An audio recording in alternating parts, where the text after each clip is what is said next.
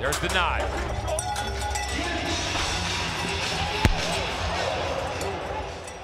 Nickel package came with the whole $10 bill. Cody Nance nowhere near enough on this occasion.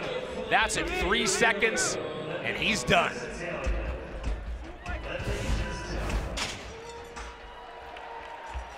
You can watch how they, you can watch how he gets dropped down in there and he he reaches across and then you watch that arm whip completely back around behind him. When the when the shoulders go, you know the hips are going to go too.